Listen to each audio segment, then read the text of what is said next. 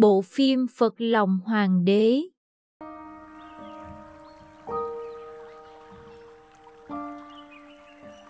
Giờ thương triệu đã đến rồi Mà nhà vua vẫn chưa dậy thế này. Tại sao các người lại để người uống say thế này chứ? Tại hôm qua Nhà vua đi vi hành ở ngoài kinh thành. Đến lúc về đã say rồi. Chắc tại chẳng mấy khi có dịp được thoải mái Nên người có hơi uống quá chén Ta đã phải nói bao nhiêu lần nữa. Các người đi theo nhà vua Thì phải hộ tống khuyên can người Không được để người uống quá chén như vậy chứ. Thái thượng hoàng tới! Ôi trời ơi! Sao Thái Thượng Hoàng từ Phủ Thiên Trường Lại về tới vào lúc này mà không báo trước chứ? Mau, mau ra nghênh tiếp. Thái Thượng Hoàng vạn tuế, vạn vạn tuế. Thái Thượng Hoàng vạn tuế, vạn vạn tuế Hoàng thượng đâu? Sao ta không thấy người lên thiết triều? Biết bao quan lại đang chờ người ở chính điện. Hoàng thượng có biết chuyện này không? Dạ ông việc này à Bẩm Thái Thượng Hoàng. Hoàng thượng đang à, nghỉ ngơi. Có lẽ do hôm qua bận việc triều chính Nên à, người đã ngủ say, Để hạ thần cho người đi gọi ạ. À. Là phận tôi tớ. Sao các người dám chến mãn việc chăm lo cho hoàng thượng? Giờ thượng triều đã tới Là phải gọi người dậy cho kịp giờ. Để bà quan văn quan võ chờ đợi một mình hoàng thượng Thật không ra cái thể thống gì nữa rồi. À, Xin Thái Thượng Hoàng bớt giận để thần vào gọi hoàng thượng ngay đây ạ. À? Không được Một vị vua anh minh Lo cho an nguy của xã tắc Không thể lúc nào cũng chểnh mãn với bản thân như vậy được. Dù có bận biểu Mệt mỏi đến đâu Thì vẫn phải lên triều Vẫn phải xem tấu sớ Để lắng nghe tiếng nói của dân chúng. Lệnh của ta Không được ai làm kinh động vua nghe chưa? Để ta xem Đến khi nào thì nhà vua sẽ tỉnh dậy. Sao hoàng thượng lại ngủ đến tận bây giờ chứ? Thái thượng hoàng nổi giận rồi kia kìa. Làm thế nào đánh thức hoàng thượng được đây? Cứ thế này Hoàng thượng sẽ bị thái thượng hoàng trách phạt mất.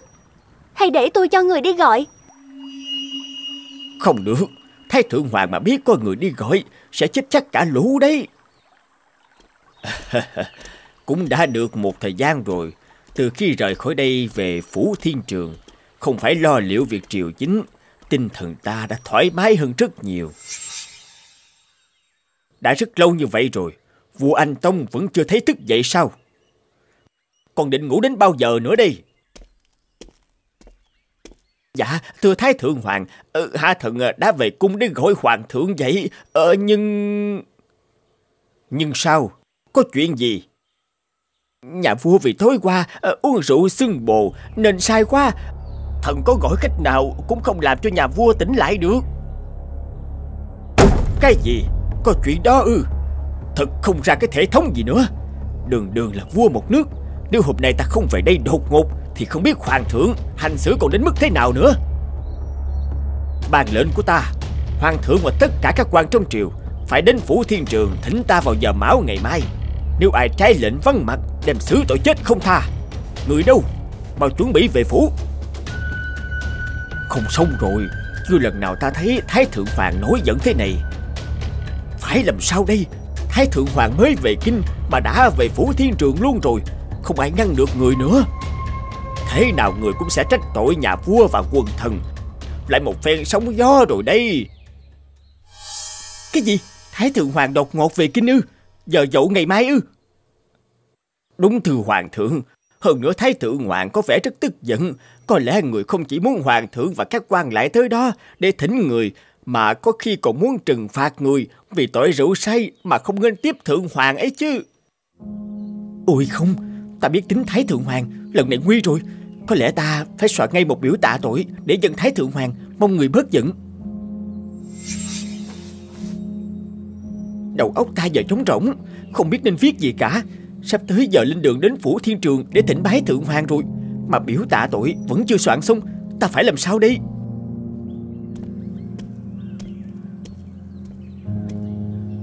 Ta mãi suy nghĩ Đã đi đến chùa Tư Phúc từ bao giờ thế này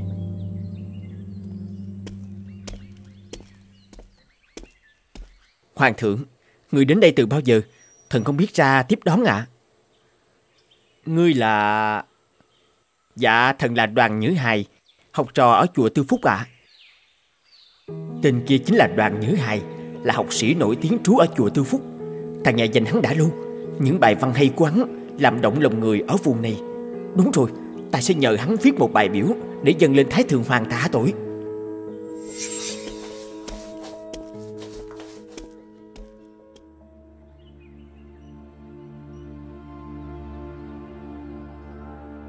Bẩm Thái Thượng Hoàng.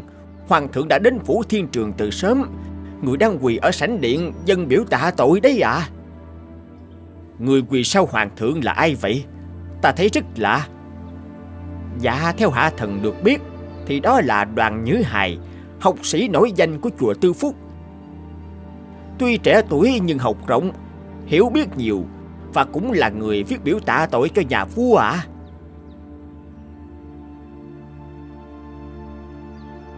Thưa Hoàng thượng, Trời đã đổ mưa rồi, Hay chúng ta tạm lánh vào điện trú mưa một lát Thân thể vàng ngọc của người Không thể bị ốm được.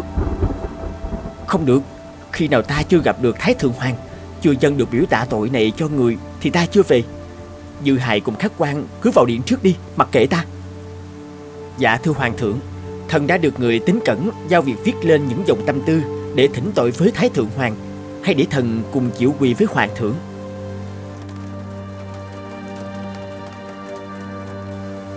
Thái Thượng Hoàng cho nhà vua vào gặp. Con xin Thái Thượng Hoàng tha tội cho con. Con hứa sau này sẽ từ bỏ rượu chè. Và quyết không dám bỏ bê việc triều chính. Việc của xã thất Nếu con còn sai trái gì nữa Con xin nhận mọi sự trừng phạt của Thái Thượng Hoàng. Trẫm ngoài ngươi ra. Còn có nhiều con khác cũng có thể nói ngôi được. Trẫm đang sống Mà ngươi còn có thể như thế. Huống chi sau này? Xin người tha thứ cho con dù sao nhà vua vẫn còn trẻ, có thể vẫn còn mắc sai lầm. Nhưng sai lầm vấp ngã ở đâu thì phải đứng lên ở đó, chứ không phải cứ để sai lầm nối tiếp sai lầm. Con hiểu chứ? Con xin nghe lời người dạy bảo ạ. À? Bài biểu người soạn và rất hợp lòng trẫm, ta cũng rất hài lòng.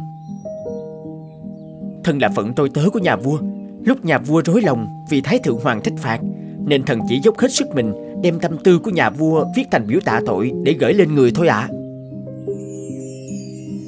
Bởi bài biểu hợp lòng thượng hoàng, đoàn Nhữ Hài được phong làm ngự sử trung tán.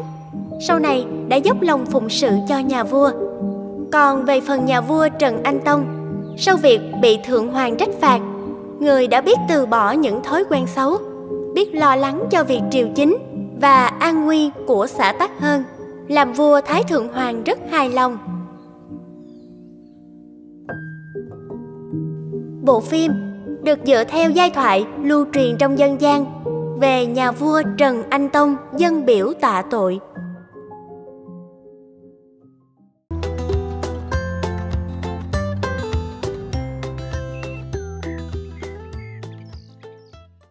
Hôm nay bà không phải đến cô nhi viện ạ? À?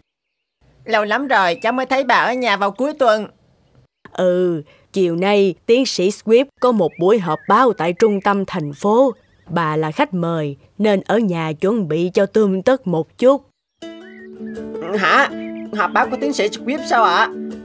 Có phải là người đang có tầm ảnh hưởng nhất thành phố mình không ạ? Cháu rất ngưỡng mộ bác ấy. Ờ, ôi trời ơi, cháu còn nhỏ như vậy mà đã hâm mộ một ông tiến sĩ rồi hay sao? Vâng ạ, à, bác ấy đã phát minh ra điều khiển cầm tay cho trò chơi điện tử mà cháu yêu thích. Cháu mới chỉ được nhìn bác ấy qua tivi mà thôi. Bà và tiến sĩ Swift là bạn thời trung học. Bác ấy đã về nước, chuyển về căn nhà ở quận bên. Sắp tới, bà và bác ấy sẽ cùng hợp tác trong một dự án về giáo dục cho trẻ. Trời ơi, tuyệt quá à! Ngôi nhà ở gần đây, Vậy là cháu có cơ hội được gặp thần tượng rồi. ừ, sẽ có lúc bà phiền cháu mang đồ qua bên đó. Cháu sẽ phải chạy đi chạy lại nhiều đấy. Vâng ạ. À. Oh yeah!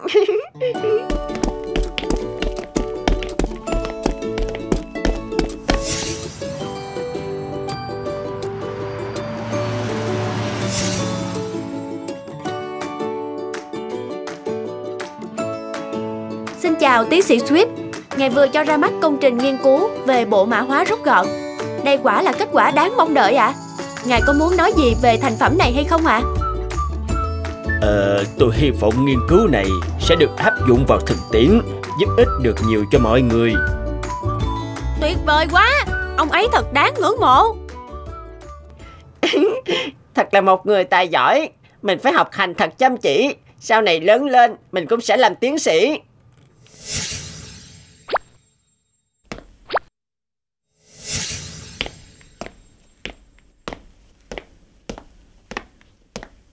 Ờ, Peter à, cháu có muốn cùng ta đến nhà tiến sĩ Swift không? Ừ, hả? Thật sao ạ? Cháu phải đi thay bộ đồ đẹp nhất mới được. Thằng bé quá thật là lanh lợi.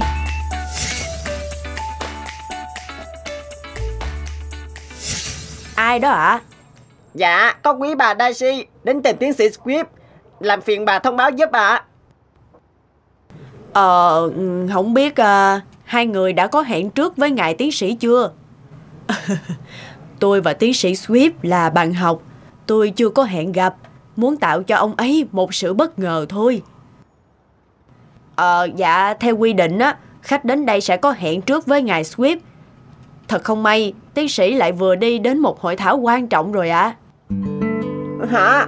À, trời ơi, buồn quá đi.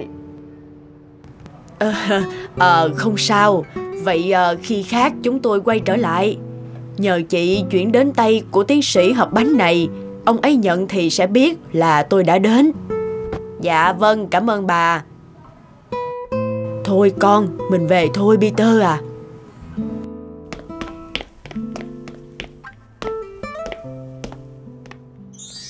À, đó không phải... Ai vậy chị? Dạ, có một quý bà và một đứa trẻ. Vẫn như mọi khi, tôi đã nói như lời ông dặn. Dạ, họ đã về rồi ạ. À. Quý bà kia còn gửi cho ông hộp bánh này nè. Ừ, chị làm tốt lắm. Đây đâu phải nơi mà ai cũng tùy tiện đến chứ. Đây là nhà của một tiến sĩ nổi tiếng cơ mà. Đến nhờ vả ta thì nên theo nguyên tắc của ta đi. Ờ, hộp bánh này... Dạ vâng, tôi xin đi làm việc tiếp đây ạ. À. Peter à, sao vậy cháu? À, dạ, không ạ. À. Bác ấy đang ở nhà, nhưng tại sao lại không muốn tiếp khách chứ?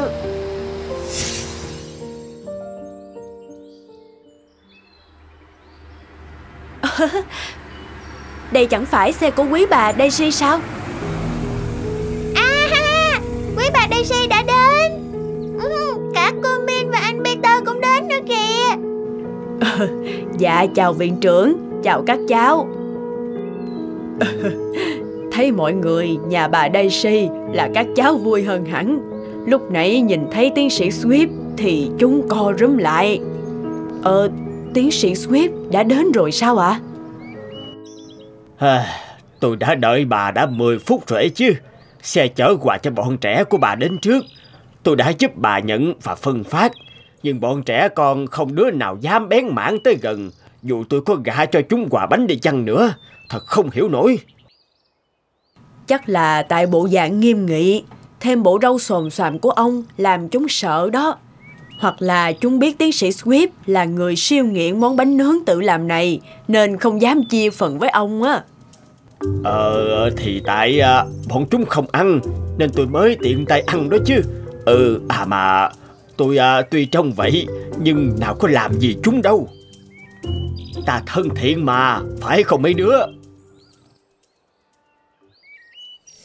Hai con ra ngoài chơi với các em nha. Chúng ta vào trong trao đổi về quỹ học bổng cho cô nhi viện. Vâng ạ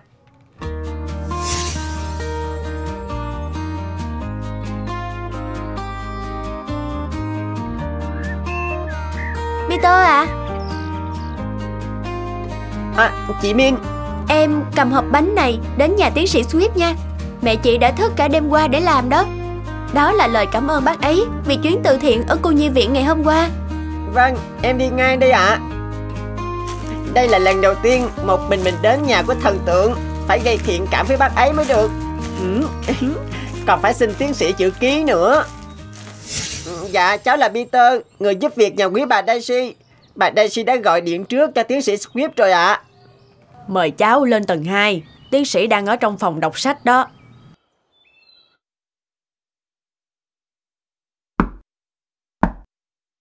Mời vào.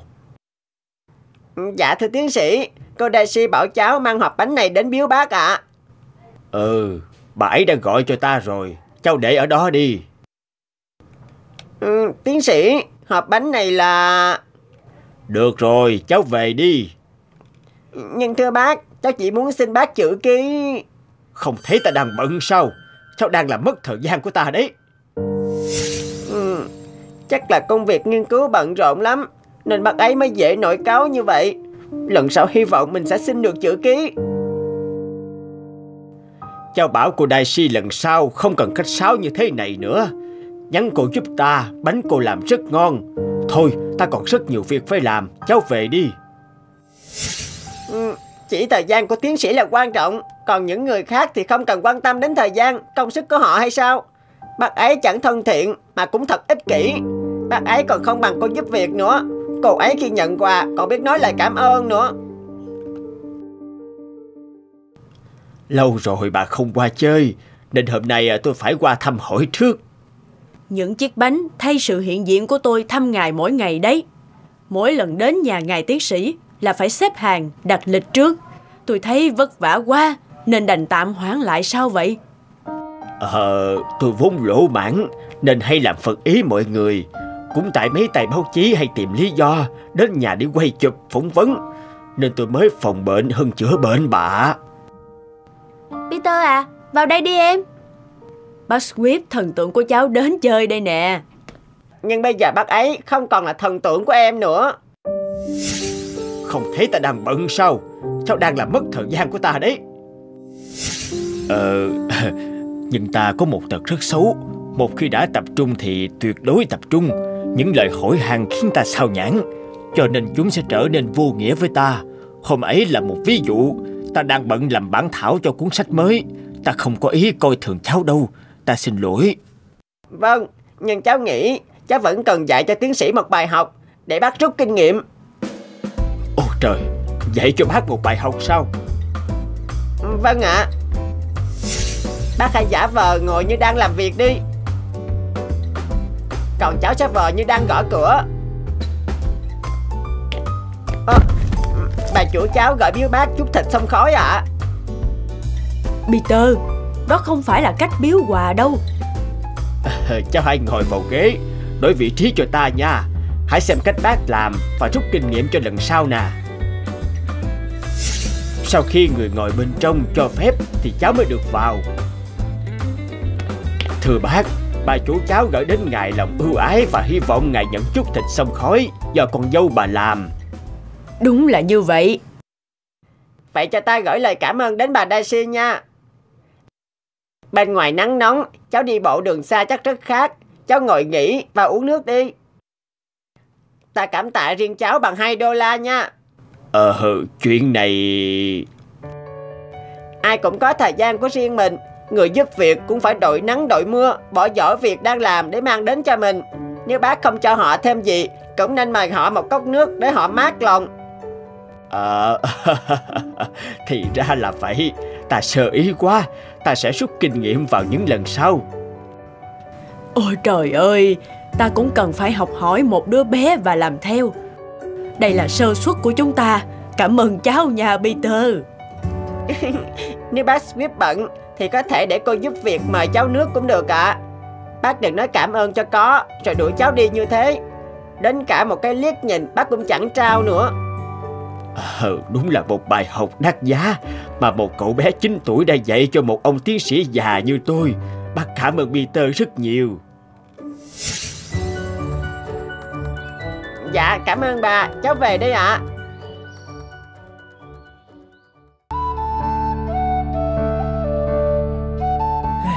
Sao năm nay thời tiết khắc nghiệt thế không biết? Nắng như đổ lửa. Ơ, chết thật, hết sạch nước rồi. Thôi đành, ăn tạm cơm trước, rồi vào đâu đó xin nước vậy. Không biết là có nuốt nổi không nữa. À, anh, anh là ai? Tôi là Tứ, một người mới xa cơ thất thế. Tôi chưa tìm nổi một việc làm, nên phải lang thang ngủ đường ngủ chợ. Ừ, thế anh ngủ ở gốc cây này đó hả? Bây giờ kiếm việc làm khó lắm. Người thì đông, mà việc thì ít. Chắc anh cũng chưa ăn gì. Ừ, đây, tôi chia cho anh một nửa nắm cơm của tôi. Anh ăn đi cho đỡ đói. Ừ, cảm ơn anh. Ừ, anh có nhiều trống thế. Bán hết chỗ này có được nhiều tiền không? Ừ, bán hết thì cũng được khá khẩm đấy. Nhưng vấn đề là cũng hơi khó bán. Chỗ tôi bán mọi khi mọc lên nhiều hàng trống lắm. Thế nên tôi phải gánh trống đến vùng này bán. Mà xem ra nơi này có vẻ vắng thưa người quá. Chà, mình mà được gánh trống này thì cũng qua được cơn đói khát đây. Ừ, ừ. À, mà tôi bảo nè, tôi cũng không khá khẩm gì hơn anh. Nhưng nhìn anh như vậy, tôi thật không đành lòng. Giờ anh có muốn đi bán trống cùng tôi không? Lời lãi chúng ta cùng chia nhau. À, anh anh mới nói gì? Ờ, tôi có thể đi bán trống cùng anh hả? Ừ, đúng rồi. Đường còn dài, chúng ta thi nhau gánh. Được lời lãi tôi sẽ chia cho anh. Nhưng tôi cũng nói trước là việc này không dễ dàng đâu. À, tôi biết mà, chúng ta đi luôn đi anh. Ừ, hy vọng là chúng ta sẽ bán được hết trước khi trời tối. Hai người cùng nhau đi dưới cái nắng ban trưa. Họ đi mãi, đi mãi mà vẫn chưa gặp một người nào. Gánh trống còn nguyên mà hai người đã thấm mệt. Ờ, anh xem kìa, một cái giếng cạn. Thật là may mắn quá, chúng ta có cái để uống rồi. Ê, giếng sâu quá, chúng ta chẳng có gì để múc nước cả. Bây giờ ta làm cách này thì uh, uống được. Ừ, ờ, tôi buộc sợi. Đa tạ anh đã cứu mạng tôi. Anh chỉ cần đến trễ một chút nữa thì chắc chắn là tôi đã mất mạng rồi. Anh làm gì mà lại rơi cả xuống ấy? May mà hôm nay có tôi đi ngang qua. Chứ ở đây làm gì có ai khác dám lui tới chứ. Đó là một câu chuyện dài lắm. Trời tối quá rồi. Anh làm ơn có thể cho tôi về nhà anh ngủ nhà một đêm được không? Tôi sẽ rời đi sớm.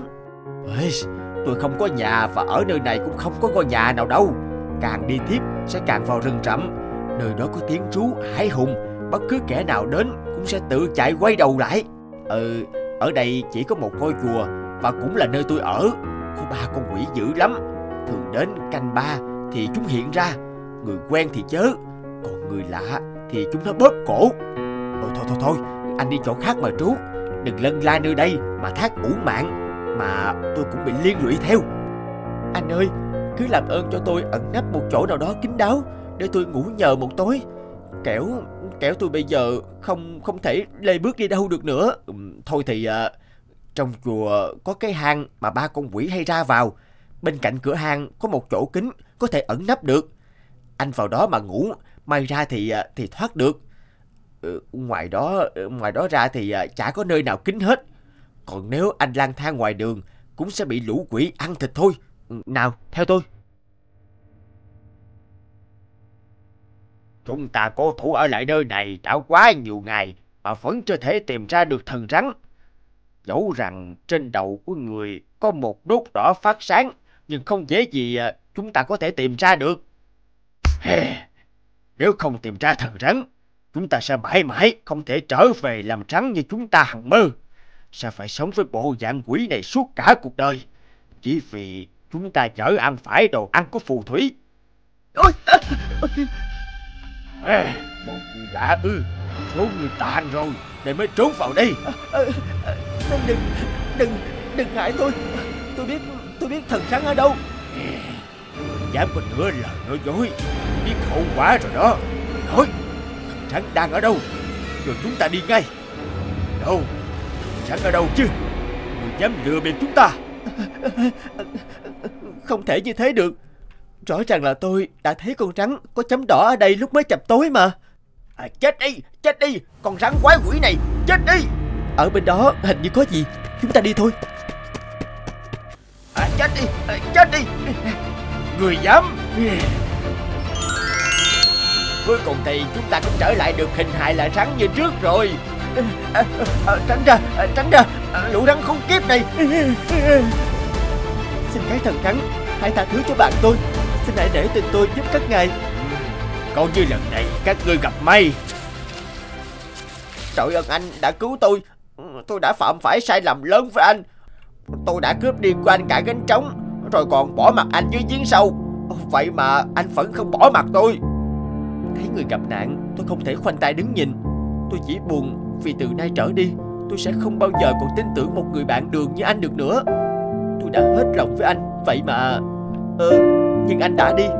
Sao anh còn quay lại? Ừ Đây là đường cục Phía trước là rừng già Với tiếng hú hét kinh dị lắm. Ờ, ờ Anh ơi ờ, Tôi biết tôi sai rồi. Xin anh hãy cho tôi đi cùng Để chuộc lỗi với anh có được không? Không tôi không cần những điều đó đâu. Tôi chỉ mong anh từ nay Đừng bao giờ gian xảo và lọc lừa một ai nữa. Hãy là một người tốt. Khi ấy những điều tốt tự khắc tìm đến anh. Từ giờ phút này Đường anh anh đi. Đường tôi tôi đi. Tôi sai rồi. Tạm biệt người bạn đường đáng quý. Bộ phim Phật lòng Hoàng đế.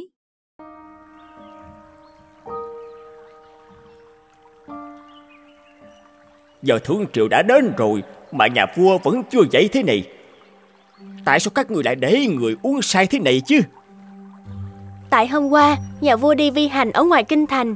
Đến lúc về đã say rồi Chắc tại chẳng mấy khi có dịp được thoải mái Nên người có hơi uống quá chén. Ta đã phải nói bao nhiêu lần nữa Các người đi theo nhà vua Thì phải hộ tống khuyên can người Không được để người uống quá chén như vậy chứ. Thái thượng hoàng tới! Ôi trời ơi Sao Thái thượng hoàng từ phủ thiên trường Lại về tới vào lúc này mà không báo trước chứ? Mau, mau ra nghênh tiếp. Thái thượng hoàng vạn tuế Vạn vạn tuế Thái thượng hoàng vạn tuế, Vạn vạn tuế. Hoàng thượng đâu? Sao ta không thấy người lên thiết triều? Biết bao quan lại đang chờ người ở chính điện. Hoàng thượng có biết chuyện này không? Dạ ông việc này à Bẩm Thái thượng hoàng. Hoàng thượng đang à, nghỉ ngơi. Có lẽ do hôm qua bận việc triều chính Nên à, người đã ngủ say. Để hạ thần cho người đi gọi ạ. À. Là phận tôi tớ Sao các người dám chểnh mãn việc chăm lo cho hoàng thượng? Giờ thượng triều đã tới Là phải gọi người dậy cho kịp giờ Để bà quan văn quan võ chờ đợi một mình hoàng thượng. Thật không ra cái thể thống gì nữa rồi. Ờ, Xin Thái Thượng Hoàng bớt giận Để thần vào gọi Hoàng thượng ngay đây ạ. Không được Một vị vua anh minh Lo cho an nguy của xã tắc Không thể lúc nào cũng chểnh mãn với bản thân như vậy được. Dù có bận biểu, Mệt mỏi đến đâu Thì vẫn phải lên triều, Vẫn phải xem thấu sớ Để lắng nghe tiếng nói của dân chúng. Lệnh của ta Không được ai làm kinh động vua nghe chưa? Để ta xem, Đến khi nào thì nhà vua sẽ tỉnh dậy. Sao hoàng thượng lại ngủ đến tận bây giờ chứ? Thái thượng hoàng nổi giận rồi kia kìa. Làm thế nào đánh thức hoàng thượng được đây? Cứ thế này, Hoàng thượng sẽ bị thái thượng hoàng trách phạt mất. Hay để tôi cho người đi gọi. Không được Thái thượng hoàng mà biết có người đi gọi Sẽ chết chắc cả lũ đấy Cũng đã được một thời gian rồi từ khi rời khỏi đây về Phủ Thiên Trường, không phải lo liệu việc triều chính, tinh thần ta đã thoải mái hơn rất nhiều. Đã rất lâu như vậy rồi, vua Anh Tông vẫn chưa thấy thức dậy sao? Còn định ngủ đến bao giờ nữa đây? Dạ, thưa Thái Thượng Hoàng, ờ, Hạ Thần ờ, đã về cung để gọi Hoàng thượng dậy, ờ, nhưng... Nhưng sao? Có chuyện gì? Nhà vua vì tối qua uh, uống rượu xưng bồ nên sai quá Thần có gọi cách nào cũng không làm cho nhà vua tỉnh lại được Cái gì? Có chuyện đó ư Thật không ra cái thể thống gì nữa Đường đường là vua một nước Nếu hôm nay ta không về đây đột ngột thì không biết hoàng thượng, hành xử còn đến mức thế nào nữa. Bàn lệnh của ta, Hoàng thượng và tất cả các quan trong triều Phải đến phủ thiên trường thỉnh ta vào giờ máu ngày mai. Nếu ai trái lệnh vắng mặt, Đem xử tội chết không tha. Người đâu? Mau chuẩn bị về phủ. Không xong rồi. Chưa lần nào ta thấy Thái Thượng Hoàng nổi giận thế này? Phải làm sao đây? Thái Thượng Hoàng mới về kinh Mà đã về phủ thiên trường luôn rồi. Không ai ngăn được người nữa. Thế nào người cũng sẽ trách tội nhà vua và quần thần Lại một phen sóng gió rồi đây Cái gì Thái Thượng Hoàng đột ngột về kinh ư giờ dậu ngày mai ư? Đúng thưa hoàng thượng, hơn nữa thái thượng hoàng có vẻ rất tức giận.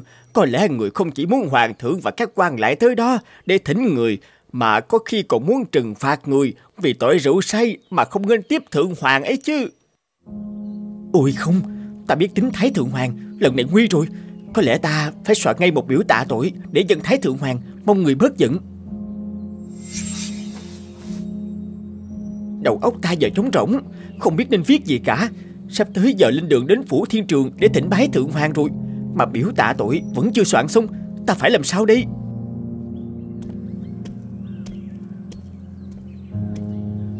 Ta mãi suy nghĩ đã đi đến chùa Tư Phúc từ bao giờ thế này?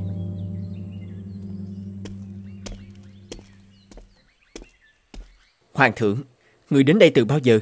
Thần không biết ra tiếp đón ạ. À? Ngươi là... Dạ, thần là Đoàn Nhữ Hài, học trò ở chùa Tư Phúc ạ. À. Tên kia chính là Đoàn Nhữ Hài, là học sĩ nổi tiếng trú ở chùa Tư Phúc. Ta nghe danh hắn đã lâu, những bài văn hay của hắn làm động lòng người ở vùng này. Đúng rồi, ta sẽ nhờ hắn viết một bài biểu để dâng lên Thái Thượng Hoàng tạ tội.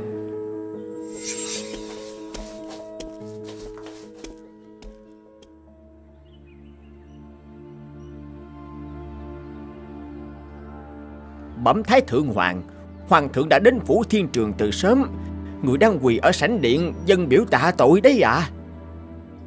người quỳ sau hoàng thượng là ai vậy? Ta thấy rất lạ. Dạ theo hạ thần được biết, thì đó là đoàn nhữ hài, học sĩ nổi danh của chùa tư phúc.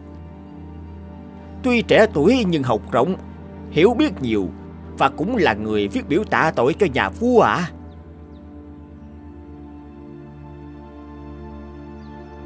Thưa Hoàng thượng, trời đã đổ mưa rồi, hay chúng ta tạm lánh vào điện trú mưa một lát. Thân thể vàng ngọc của người không thể bị ốm được. Không được, khi nào ta chưa gặp được Thái Thượng Hoàng, chưa dân được biểu tạ tội này cho người thì ta chưa về. Dư hài cùng khách quan cứ vào điện trước đi, mặc kệ ta. Dạ thưa Hoàng thượng, thần đã được người tính cẩn giao việc viết lên những dòng tâm tư để thỉnh tội với Thái Thượng Hoàng hay để thần cùng chịu quỳ với Hoàng thượng.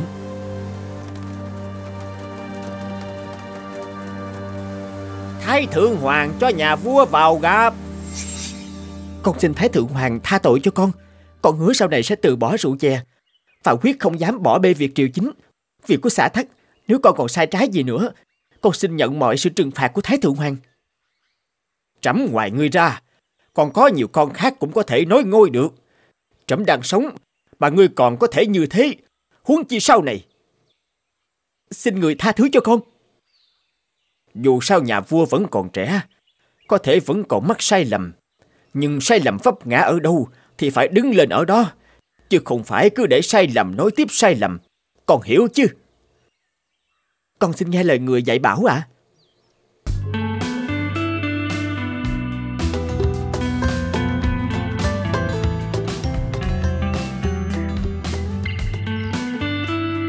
Hôm nay bà không phải đến cô nhi viện ạ à? Lâu lắm rồi cháu mới thấy bà ở nhà vào cuối tuần Ừ, chiều nay tiến sĩ Swift có một buổi họp báo tại trung tâm thành phố Bà là khách mời nên ở nhà chuẩn bị cho tươm tất một chút Hả? Họp báo của tiến sĩ Swift sao ạ? Có phải là người đang có tầm ảnh hưởng nhất thành phố mình không ạ? Cháu rất ngưỡng mộ bác ấy Ờ, ôi trời ơi, cháu còn nhỏ như vậy mà đã hâm mộ một ông tiến sĩ rồi hay sao? Vâng ạ. À, Bác ấy đã phát minh ra điều khiển cầm tay cho trò chơi điện tử mà cháu yêu thích. Cháu mới chỉ được nhìn bác ấy qua tivi mà thôi. Bà và tiến sĩ Swift là bạn thời trung học. Bác ấy đã về nước, chuyển về căn nhà ở quận bên. Sắp tới, bà và bác ấy sẽ cùng hợp tác trong một dự án về giáo dục cho trẻ. Trời ơi, tuyệt quá à Ngôi nhà ở gần đây Vậy là cháu có cơ hội được gặp thần tượng rồi. ừ, sẽ có lúc bà phiền cháu mang đồ qua bên đó. Cháu sẽ phải chạy đi chạy lại nhiều đấy. Vâng ạ. À. Oh yeah!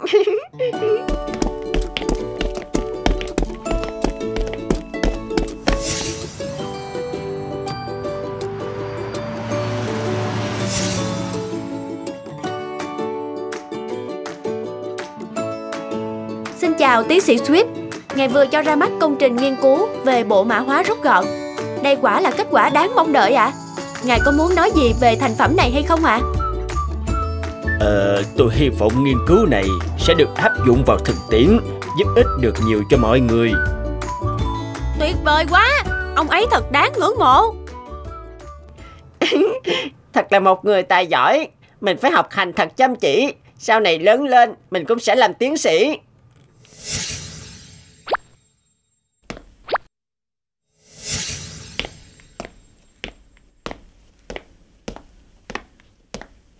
Ờ Peter à Cháu có muốn cùng ta đến nhà tiến sĩ Swift không Ừ, Hả? Thật sao ạ? Chắc phải đi thay bộ đồ đẹp nhất mới được. Thằng bé quá thật là lanh lợi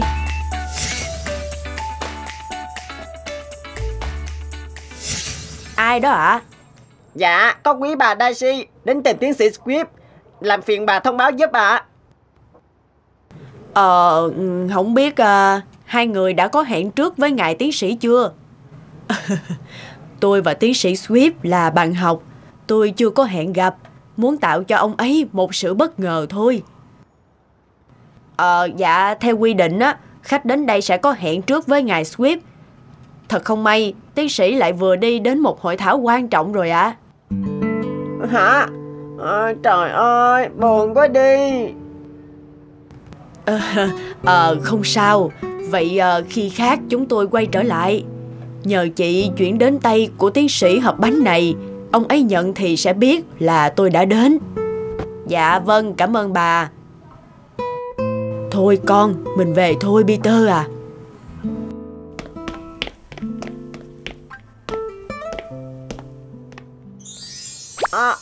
đó không phải... Ai vậy chị? Dạ có một quý bà và một đứa trẻ Vẫn như mọi khi tôi đã nói như lời ông dặn Dạ họ đã về rồi ạ Quý bà kia còn gửi cho ông hộp bánh này nè Ừm, chị làm tốt lắm. Đây đâu phải nơi mà ai cũng tùy tiện đến chứ. Đây là nhà của một tiến sĩ nổi tiếng cơ mà. Đến nhờ vả ta thì nên theo nguyên tắc của ta đi. Ờ, hộp bánh này... Dạ vâng tôi xin đi làm việc tiếp đây ạ Peter à sao vậy cháu Ờ, dạ, không ạ. Ừ, Bác ấy đang ở nhà, nhưng tại sao lại không muốn tiếp khách chứ?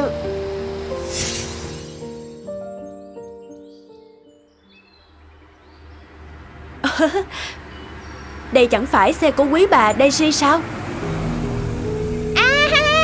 quý bà Daisy đã đến. Ừ, cả cô Min và anh Peter cũng đến nữa kìa. Dạ chào viện trưởng Chào các cháu Thấy mọi người nhà bà Daisy là các cháu vui hơn hẳn Lúc nãy nhìn thấy tiến sĩ Swift thì chúng co rúm lại Ờ, tiến sĩ Swift đã đến rồi sao ạ? À, tôi đã đợi bà đã 10 phút rồi ấy chứ. Xe chở quà cho bọn trẻ của bà đến trước. Tôi đã giúp bà nhận và phân phát. Nhưng bọn trẻ con không đứa nào dám bén mảng tới gần. Dù tôi có gả cho chúng quà bánh đi chăng nữa. Thật không hiểu nổi. Chắc là tại bộ dạng nghiêm nghị, Thêm bộ râu xồm xoàm của ông làm chúng sợ đó Hoặc là chúng biết tiến sĩ Swift là người siêu nghiện món bánh nướng tự làm này, Nên không dám chia phần với ông á Ờ, thì tại à, bọn chúng không ăn. Nên tôi mới tiện tay ăn đó chứ. Ừ, à mà tôi à, tuy trông vậy nhưng nào có làm gì chúng đâu. Ta thân thiện mà, phải không mấy đứa? Hai con ra ngoài chơi với các em nha Chúng ta vào trong trao đổi về quỹ học bổng cho cô nhi viện Vâng ạ.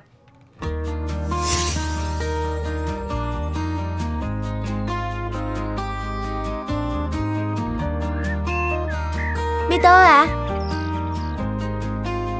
À, chị Min, em cầm hộp bánh này đến nhà tiến sĩ Swift nha. Mẹ chị đã thức cả đêm qua để làm đó. Đó là lời cảm ơn bác ấy vì chuyến từ thiện ở cô nhi viện ngày hôm qua. vâng, em đi ngay đây ạ. Đây là lần đầu tiên một mình mình đến nhà của thần tượng. Phải gây thiện cảm với bác ấy mới được. Ừ, Còn phải xin tiến sĩ chữ ký nữa. Dạ, cháu là Peter, người giúp việc nhà quý bà Daisy. Bà Daisy đã gọi điện trước cho tiến sĩ Swift rồi ạ. Mời cháu lên tầng 2 Tiến sĩ đang ở trong phòng đọc sách đó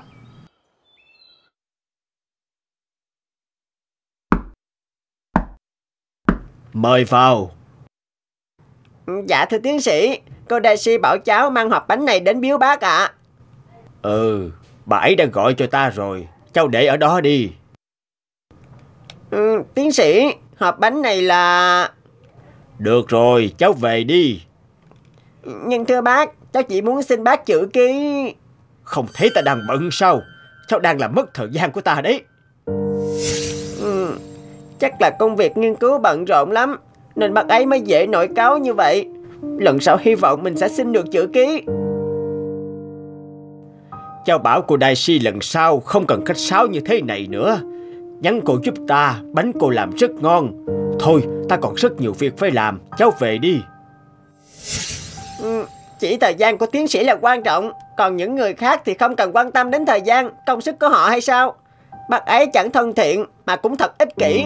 Bác ấy còn không bằng cô giúp việc nữa. Cô ấy khi nhận quà còn biết nói lời cảm ơn nữa. Lâu rồi bà không qua chơi, nên hôm nay à, tôi phải qua thăm hỏi trước. Những chiếc bánh thay sự hiện diện của tôi thăm ngài mỗi ngày đấy. Mỗi lần đến nhà ngài tiến sĩ là phải xếp hàng, đặt lịch trước. Tôi thấy vất vả quá nên đành tạm hoãn lại sao vậy? Ờ, tôi vốn lỗ mãn nên hay làm phật ý mọi người. Cũng tại mấy tài báo chí hay tìm lý do đến nhà đi quay chụp phỏng vấn nên tôi mới phòng bệnh hơn chữa bệnh bà. Peter à, vào đây đi em. Bác Swift thần tượng của cháu đến chơi đây nè. Nhưng bây giờ bác ấy không còn là thần tượng của em nữa. Không thấy ta đang bận sao? Cháu đang làm mất thời gian của ta đấy. Ờ, nhưng ta có một tật rất xấu. Một khi đã tập trung thì tuyệt đối tập trung. Những lời hỏi hàng khiến ta sao nhãn. Cho nên chúng sẽ trở nên vô nghĩa với ta. Hôm ấy là một ví dụ. Ta đang bận làm bản thảo cho cuốn sách mới. Ta không có ý coi thường cháu đâu. Ta xin lỗi. Vâng, nhưng cháu nghĩ cháu vẫn cần dạy cho tiến sĩ một bài học để bác rút kinh nghiệm. Ôi trời, dạy cho bác một bài học sao? Vâng ạ. Bác hãy giả vờ ngồi như đang làm việc đi. Còn cháu sẽ vờ như đang gõ cửa. Ơ, bà chủ cháu gọi biếu bác chút thịt xong khói ạ. Peter, đó không phải là cách biếu quà đâu. Cháu hãy ngồi vào ghế, đổi vị trí cho ta nha. Hãy xem cách bác làm và rút kinh nghiệm cho lần sau nè.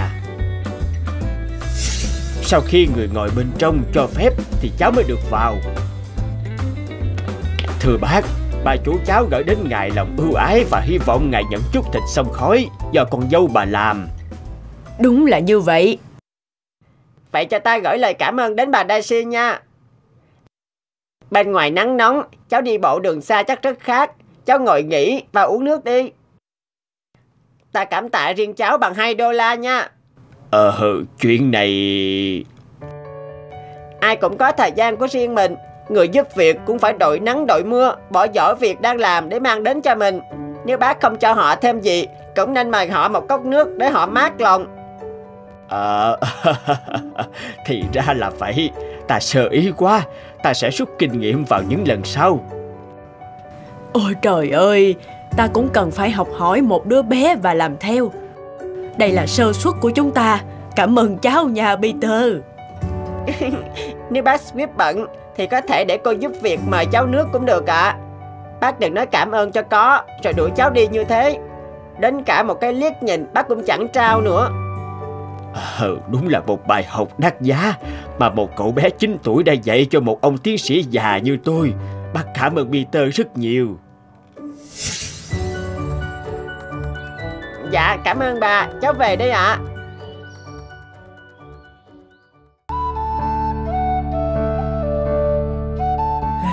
Sao năm nay thời tiết khắc nghiệt thế không biết Nắng như đổ lửa Ơ Chết thật Hết sạch nước rồi Thôi đành Ăn tạm cơm trước Rồi vào đâu đó xin nước vậy?